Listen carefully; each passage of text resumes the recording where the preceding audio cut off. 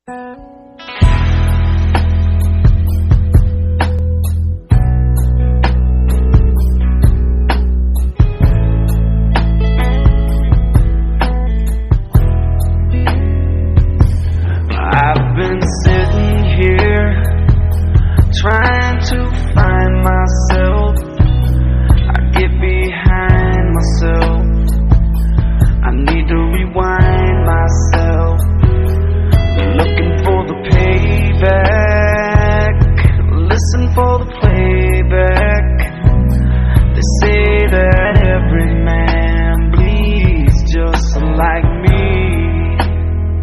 And I feel like number one.